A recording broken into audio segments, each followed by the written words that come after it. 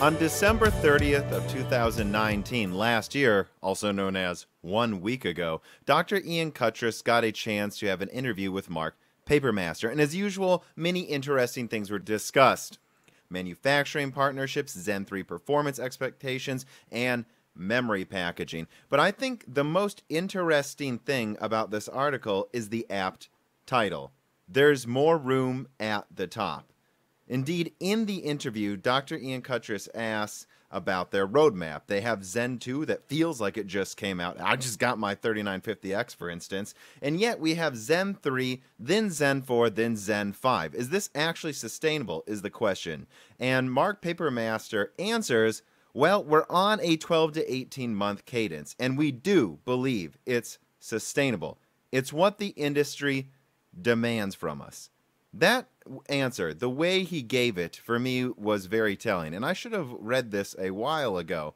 I have to admit, recently I have had my AMD enthusiasm curbed simply because I'd wonder can they continue to raise the bar, raise expectations time and time again? And at CES, they have, announcing the 3990X. But it's not just about the 3990X, it's about the mentality. Intel was used for so long to dictating to the industry what they would get from them because there's no possible way anyone could usurp Intel's technology advantage.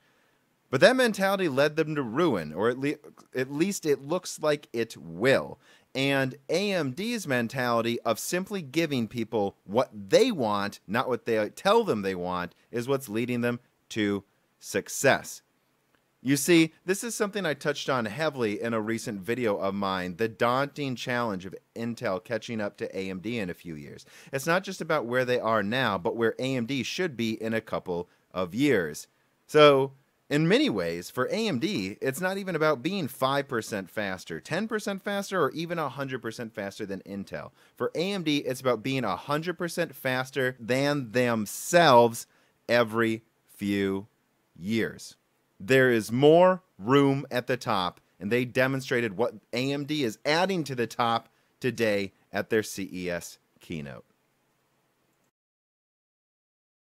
So, yeah, I just watched AMD's CES 2020 keynote. And what are my thoughts?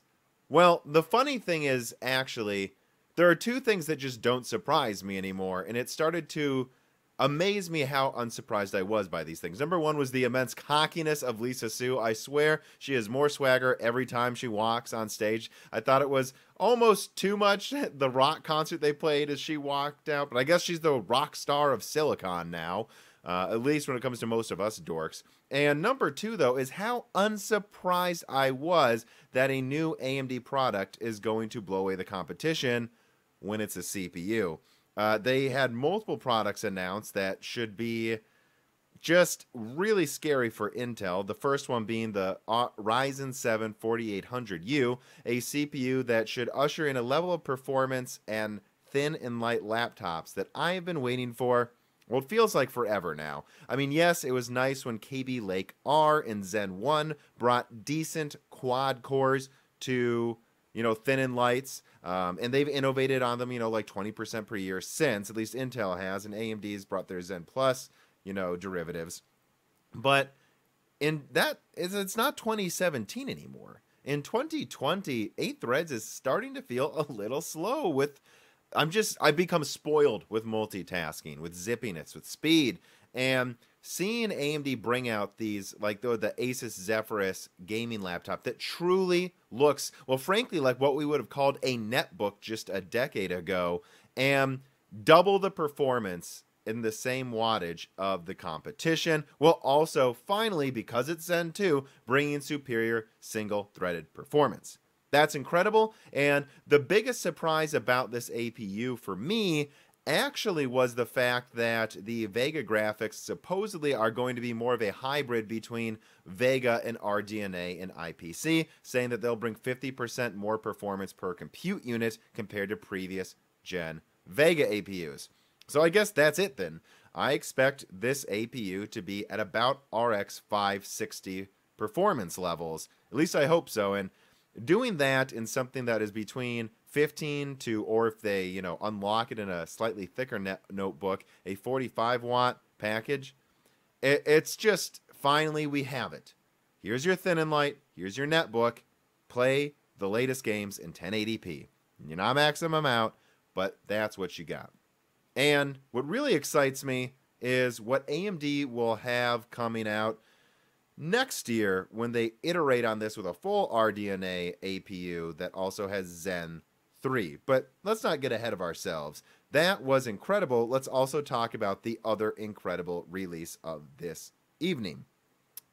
Threadripper. We all knew it was going to be announced at this, you know, the 3990X, but you know, just seeing how much more performance it has when you actually put it side by side with a dual Xeon setup that is still 30, 20 to 30% weaker. It, it and costs 20 grand versus a 4 grand CPU.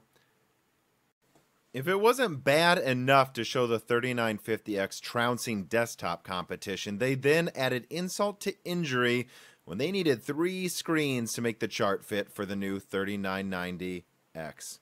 Yeah, this is how bad things are. We have AMD with a 4 grand desktop. Super expensive, but nonetheless desktop processor beating Intel's $20,000 server setups.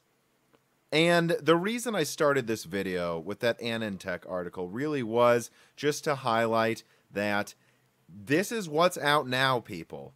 Zen 3 is coming in within a year, and it will not be Zen 2 Plus.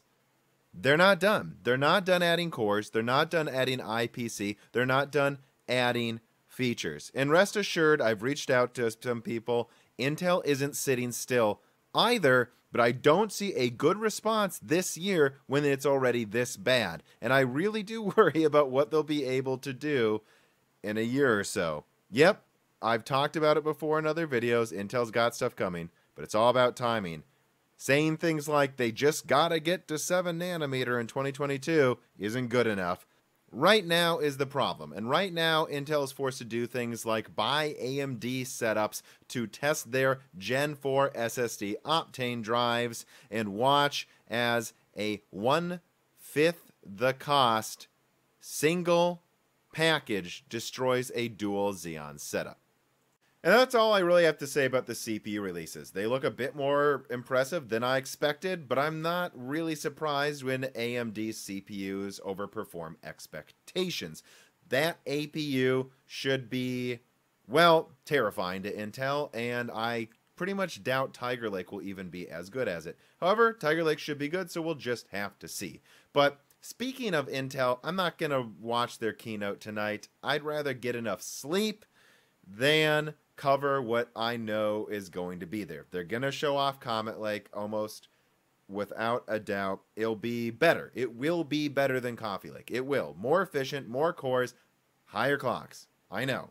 But guess what? It's still on 14 nanometer. There will still be new security vulnerabilities that come out. It will not have Gen 4 uh, support for PCIe. And frankly, I'm just not that interested. Um, I guess other things to look for in the Intel uh, press conference that's probably going on right now when this video ends up coming out is some more information about their GPUs. Although I don't expect a giant explosion of information quite yet. Uh, but we'll see what happens. Maybe I'll sneak another video in about the Intel press conference sooner rather than later. But the last thing to talk about is speaking of GPUs, the 5600 XT. Yeah, it's fine at $280. And for me, I, I think the best thing you can say about this 1660 Super competitor that is, you know, a little more expensive, but will without a doubt crush it. Um, know, probably come in, you know, within 5 10% of the 2060 while being 20% cheaper. Is that this should finally create some downward pressure in the 200 to $300 region. There's no longer, you know, like the 5700 XT, then the 5700, which sometimes drifts down to $300, and then you have the 5500 XT that's too expensive. Having these three products there, it acts as a bridge between the 5700 and the 5500 series, and I think that will be more important than people think. But it it, it acts kind of, you know, it, it does. It creates downward pressure on the 5500 because it's putting pressure on the 1600. So that should be good. And it means if 5700s ever go out of stock or they start the street price starts going up again, there will be a good alternative in the sub $300 region.